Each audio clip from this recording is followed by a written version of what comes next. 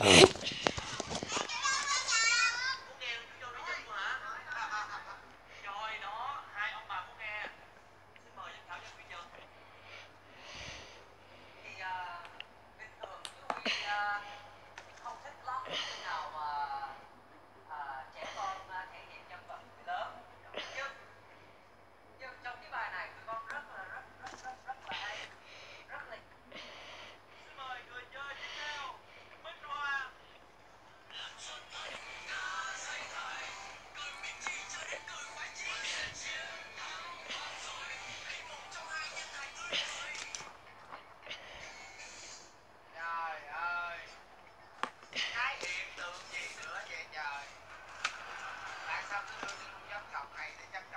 chương trình này. Ta nói à, lửa ở đâu toàn là thí sinh ta